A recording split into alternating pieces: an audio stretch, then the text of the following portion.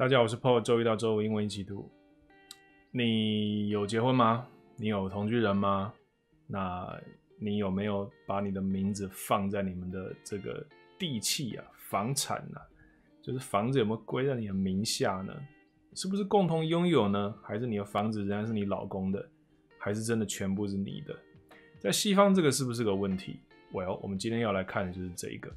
那 Reddit 上的一个讨论，呃，这是什么版？哦，关系版 （relationship 版）。所以果然就是 relationship。那这边它标题说：“Is it fair for me to ask to add my name to the house deed？” 所以这里第一个我们看到一个词叫做 house deed。一般来说，deed 这个字就是做做事情，呃。Good deeds, bad deeds，就是你做的好事跟坏事之类的。这呃，所以这个是个很笼统的概念。就我们讲到事情的时候，我说真的，我也没有在生活中很长很长听到这个字。可是我的确是知道，总之它就是做事情。你为你朋朋友做一些好事，例如说，假设 I don't know，你用你的朋友的名义去捐献了一些钱到庙里去，或者你帮你朋友搬家，那我们都可以称之为 You're doing some good deeds for your friends。OK，所以 de 的这个字，那什么是 house deed 啊？就是地契。所以我们刚刚讲说的是，好，你的房子归你的名下，归谁名下？那地契上面写的名字是谁的？同样的概念。所以这里它的标题在，我们再讲一次。所以对我来说，Is it fair for me？所以我我这么做是不是公平？Is it fair？Is it fair for me to ask to add my name to the house deed？把我的名字加到这个哦，就是房子的名下这样子。好，所以下面我们看一下，I forty one male married my husband forty male about five years ago and moved into his house。所以我们这里知道他们是一对同性恋的这个呃男生，至少他们自己 identify 成 male，所以因为两个都是 M 嘛，所以她四十一岁，然后她嫁给她老公，她老公四十岁。The house is about uh two hundred k now, and he owed about fifty k then。对，房子现在呢大概是两百 k。那一 k 就是一千，所以二十万。那 he owed about fifty k then，所以他当时还欠了五万。OK，如果这边用美金来算的话，那而且它是个 dollar sign，所以我猜这是美金。如果是那个欧元或者英镑，它有不同的那个前面的这个东西哈。然后说 within one year of wedding we paid off the house，所以在结婚一年内，paid off 的意思就是付完了。OK，所以我们这边打一下 pay off，就是付完了。所以我们付完了这个房子，所以 I think he paid majority of it, but can't remember the numbers。她想啊，是她老公付绝大部分的，所以她那时候还欠五万，然后现在，然后当时一年内就付完了。那他认为他付大部分，because I didn't like paying mortgage interest, and he liked the idea of mortgage free。所以呃，那这边讲的是，因为我不喜欢付。mortgage 的利息，mortgage 就是房贷，所以他们一年内付完。他解释了一下原因，原因是因为他自己本身不喜欢付房贷，and he liked the idea of mortgage free，而他就是老公喜欢的 idea 则是不想要有房贷。所以一个不爱付房贷的利息，一个不爱有房贷，所以他们一年内把它付完掉。Cool。Since then，自从那时候开始，we've spent about eighty k to renovate the house。他们花了从那时开始，他们所以他五年前结婚。然后一年内付完，然后从那时候开始啊，花了大概八十 k。We've spent about eighty k to renovate the house。所以 renovate 这个字就是 呃重新装修整修。呃，which he contributed more because he makes about one point five times of my income。所以这个八十 k 呢，也是老公付比较多。He contributed more，因为他的薪水是他一点五倍。He makes about one point five times of my income。We could have sold the house and buy a bigger one together。我们事实上是，所以我们其实已经早就已经可以把这房子给卖了，而且可以再买大一点点的。所以他用了一个 过去完成时 could have sold，表示这是个假设语气，他们其实并没有卖掉。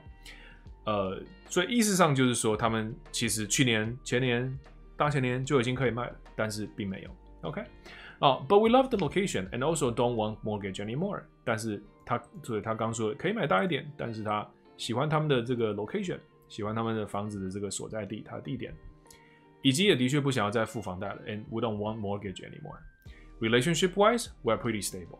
呃，在关系方面，我们还蛮稳定的。所以这个什么什么方面哈，有的时候英文会用一个名词加一个 wise，所以就是什么方面啊？所以你也可以把它讲成一个片语，in terms of 这样子，就是说 in terms of relationship we're pretty stable。The relationship wise we're pretty stable。这样好，I talk about I talked about this with him a couple times. He said okay. 对，什什么是 this 啊？I talked about this with him a couple times，就是标题讲的，能不能把我的名字也放在房子的地契里？He said okay, but of course not thrilled about it。所以他说 OK，可是当然并不是对他非常的 thrill。所以 thrill 这个字就是嗯很激动、很开心、很很爽这样子。所以所以他并没有非常的兴奋。And he said it would be expensive to hire a lawyer for the paperwork。然后他也说了啊，请律师来加一个名字进去，蛮贵的。 it would be expensive to hire a lawyer for the paperwork. Paperwork 就是文件这样子。My question is，而我的问题是，Is it fair for me to ask to add my name to the house deed？所以标题再出现了一次。I acknowledge that my husband paid for the majority of the house and I live here rent free。所以她了解到是老公付了大部分的房子的钱，而我在这里住是不用房租的。Therefore, I wouldn't pressure him，所以我就不会给他压力。 哎，可是你们结婚了，你还会想到什么 rent free 的概念吗？I don't know. I just think I'd also contributed to the house tax, renovation, etc. 所以我只是想啊，我也有贡献 house tax 就房屋税以及刚刚讲的 renovation 这些的。And from a sentimental point of view，而从一个一个比较 sentimental 就是感性的观点，OK，多愁善感的观点。I feel unequal and insecure for not owning the roof I live under。所以从一个比较感性的观点来看，我觉得 unequal 没有跟他是平等的，以及不不安全，feel insecure。为了什么事呢？就因为我并没有拥有我所住的这个屋檐底下的这个东西，所以呃也没有底下说，嗯，他没有拥有那个屋檐了。反正这是一个延伸的用，就是一个一个 metaphor。OK，so for not owning the roof I live under。所以他活在这个屋檐底下，可是却没有拥有这个屋檐。呃，天花板、天台 （roof），随便你怎么去理解它。好了，anyway，所以下面有很多的回应。呃，我我想看回应，我不想看他那个。我可是他讲了一些离心的部分，好像也蛮重要的耶。好，我我很快说一下好吧。我觉得这里大概不要解释太多。哇，so didn't expect so many responses. Thanks for thanks all for your input. No matter where you stand on this on this issue，所以不管你们站在哪一边，我都感谢你的回应。And thanks to those who shared their personal experiences, much appreciated. I actually shared the link to this thread with my husband and talked with him. We will add my name on the deed, and we will get a lawyer to have a post-nup so both sides can be financially protected fairly in case of a divorce. 所以他们会去签一个结婚后的呃协议书。 所以我们其实以前介绍过一个东西叫做结婚婚前协议书，就是要是今天婚姻呃失败了，要怎么分财产之类，所以那个叫做 prenup，OK，prenup，prenuptial，所以其实是 nuptial 这个字，OK，但有时候他们就只只用 nup，所以他这里写了一个，他们会请律师来写一个 postnup，所以婚后协议书，所以 in case 如果有 divorce with the lawyer，with the lawyer，we will have，we will also have our wills done。所以有律师，我们也会把我们的 will 来处理掉。所以这个 will 在这里是遗嘱。OK，我听说现在有一个比较更好一点的字眼叫平安纸，啊，总之就遗嘱这样子。所以 as many suggested 就很多人建议的。所以另外几个他想要 clarify 的事情，我想这边可能有点重要。My initial post might give impression that my husband was very resistant to the idea. Actually, he's not. 所以她原本的 pose 啊，可能会给出一个印象，就是她老公非常抗拒这个概念，resistant。其实并没有。我刚读起好像她老公也是意愿不大了。说真的，he just think he just thinks it's too much of a hassle。所以这个 hassle 这个字就是啊，很麻烦呐，很多麻烦呐，就搞纲了。所以 hassle 这个字就是我们台语的搞纲。所以 it's too much of a hassle without realizing the symbolic value of it to me。所以他当时并没有理解。对这个原 po 来说，它的有一个象征性的价值，他只觉得这个太麻烦了，所以 without realizing the symbolic value，所以这个 symbolic 这个词在英文的世界中也很常看得到。So there's a symbolic value to you know your name being on the deed 这样子。So for me, I really am just interested in the symbolic value of having my name on the house where I live every day。所以我他几乎把我刚刚讲了 再讲了一次，所以他就只是他有兴趣的部分就只是一个象征性的价值。Having my name on the house where I live every day，我是每天住在这。Where I painted the walls and decorated every room，所以他漆了这个墙，然后装饰了每个房间。So in a post note, we can detail the financial ownership。所以在 post note 里面，他就可以把这个 financial ownership 把它写清楚啊，所以可能就是可以分说啊，房子可能七成你的，三成我的之类的。Sure。 We don't really want to buy another house as an investment rental property. That's too much work out of our busy day jobs. 所以第三个，他想要确认，呃，跟大家澄清的是，他们不想要再买另外一栋房子，当成一个 investment 或者当成一个 rental property，就是出租出去的 rental。太多工作了，太多，或许不能讲工作，就是太太太耗工了。好，too much work。 Out of our very busy day jobs，虽然本来就已经有 day job 就白天的工作了，那那不行。We live in the U.S. in a U.S. state without community property laws, so it's not automatically fifty-fifty。哦，所以所以这样从这个话里看起来，好像在美美国有些州啊，它有一些 community property laws，所以就是社区的一些就是地产方相关它的法令。那这个法令好像说很自动的，你跟你的同居的人似乎就是五十五十了这样子，所以。所以他们不是住在这样的一个美国的州里，所以言下之意，有些美国州似乎是这样子。我们这边顺便补一下，你跟你老公或老婆的关系，你们就叫做 spouse。那当然，同性婚姻可以，或者应该讲说多元成家开始了之后，呃，spouse 这个词已经不限于是男生女生之间，或者老公老婆之间。我想大概可能是，还是应该就老公老婆，只是说不见得一定是人类，也不一定。好，这个可能不要扯太远了。但总之，我想要刚说的是。如果今天你们只是同居没有结婚的话，我们我们可以称这个叫做 common law partners，至少在加拿大是用这样的字眼的。所以 common law 的意思就同居者这样子。那同居者，我记得好像是你要住了半年还一年之类的以上，你就可以跟那个人分财产了。其实，所以呃，这是一个自动的事情这样子。All right，好，所以。呃，我们把它原 po 看完了，事实上好像已经也蛮多了哈。但我们能不能抓点时间看一下下面的一些回应？好了，加加减减。所以第一个回应的人说：“Excuse me, forty-year-old widow here. Even if you don't get added to the deed, make sure you two have legal wills that make you the inheritor of the house. Cool。所以他是一个四十岁的 widow，widow 就是寡妇。”啊，我是四十岁的寡妇，所以即便你们没有你没有加你的名字到 deed 上的话，你也要确定 make sure you two have legal wills。所以这个人说的是遗嘱，而且会让你成为这个继承人，所以这个房子的呃继承人 inheritor。所以 inherit 这个词我们很常看到就继承，所以 inheritor 就继承的人。好，然后下一个人接下来回应说的是我老公死的。的时候我三十六岁，所以 I was thirty six when my husband died. Absolutely, this is for no other reason than to make life easier on your next of kin. 所以他很支持留遗嘱。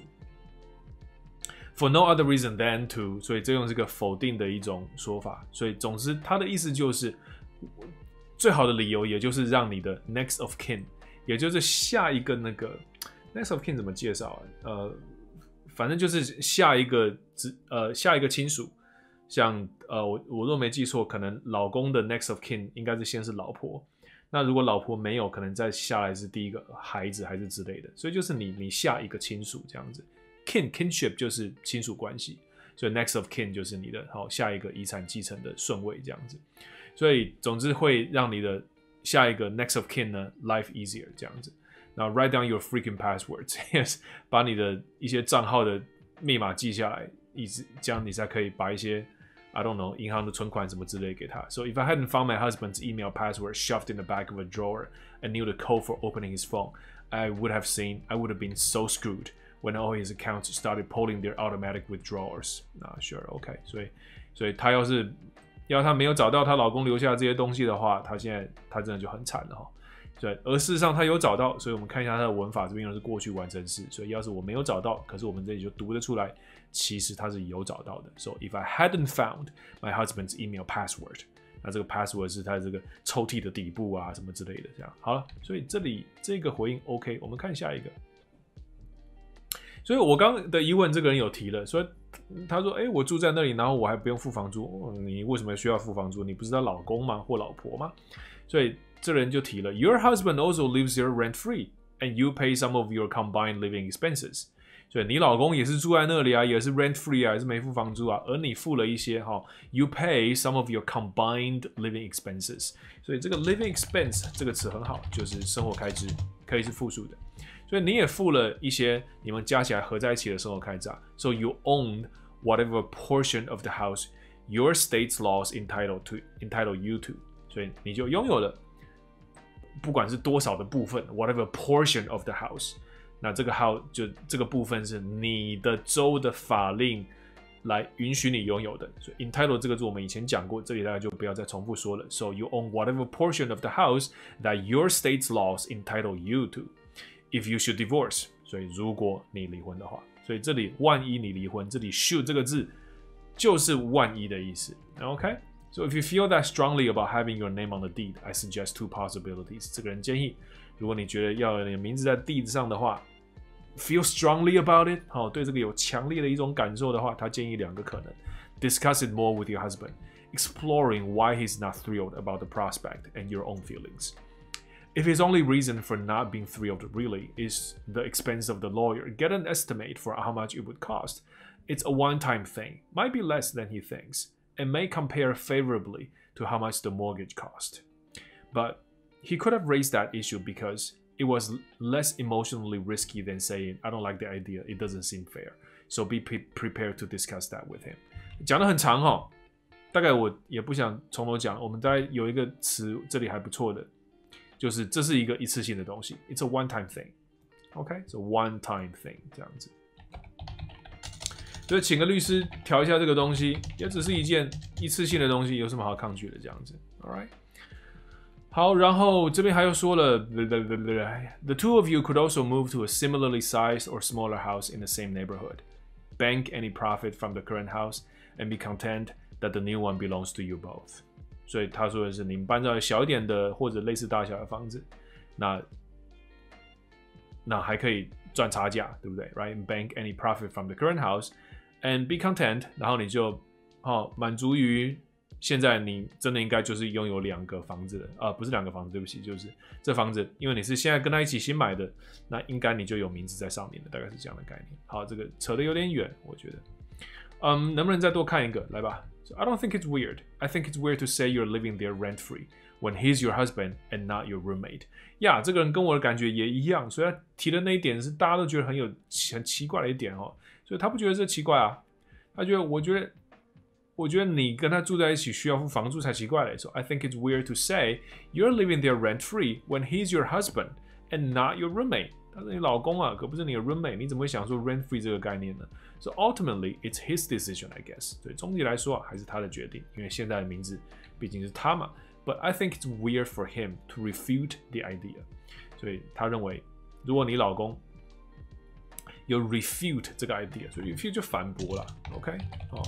就不同意啊。如果 refute 这个 idea 的话，他觉得这是奇怪的。So marriage is fifty-fifty, and unless you got a prenup，我们刚刚看过 prenup，对不对啊？所以除非你有 prenup 的话，the court would still split your combined assets fifty-fifty if you were to divorce。所以除非你有 prenup，否则的话，法庭也会把你们两个中间就 split 五十五十。如果你要离婚的话，Not saying that's happening，我也没有说你们会发生啊，对不对？But legally, where your name is or isn't doesn't really matter。 所以法律上来说，你的名字有没有在那，事实上是没差的。So maybe he will come around in time。所以这里的 come around 的意思就是啊，想通了。所以 come around 这个词跟来是没有概念的哈，没有没有那个意思的 come around。呃，我呃呃，你你你说服一个人做一件事情，然后他一直不愿意做，然后你就等，然后等的过程中可能偶尔说服提一下或之类，然后再等，让他慢慢去酝酿。然后等到他两个月、三个月，或者是反正一段时间后，转过来跟你说：“好了好了，我们做吧。”你心里就会想：“哈，Guess who's come around？OK，你终于想通了的一个这样的概念。所以这个 come around 就是很生活的一个用法，还不错，我们就把它学起来。好，我们看到这里大概也够了。这一篇我觉得颇有趣的，相信应该也有很多人有一些想法跟讨论，我们都可以下面来讨论一下下。好，希望你喜欢今天这样内容。或许你还没有房子，那我就祝你早点买到房子。有房子，我们这个华人讲有土是有财，我会觉得住在房子自拥有的是一个不错的概念。不过，我也听到很多人 there are many people who challenge this idea because people say that there are many, many better, more viable, more feasible investment options out there that you can uh, that you can invest, you can put your money into, or you can gamble your money on. But uh, and and also buying a house is not necessarily an investment because housing market might crash, right? 所以也有人觉得，好，就哦，housing market 我们讲就房市啊，OK。所以有人觉得买房子并不是一个非常好的一个投资选项，因为我们总会讲说啊，房市会垮，房市会垮。But I don't know, you know，其实各种投资的东西都是一个 upward 的一个 trend。If you are on a long enough timeline， 只要你时间轴拉的够长的话，我们几乎所有的投资都是一个往上走的，即便它可能会 crash 一下或什么之类的。There might be recessions from time to time, but you know the uh, for almost any market, you know the trend is always upward. Uh, but again, given you're on a long enough timeline. 好，所以不晓得哎，这投资的东西，或许我也不是说非常的懂，但总之啊，我们今天就讲到这里就可以了。好，我发现我有时候会看着麦克风讲话，事实上我的镜头在那里，对不起哈，这个要给我一点时间调整。我是 Paul，我们下次见。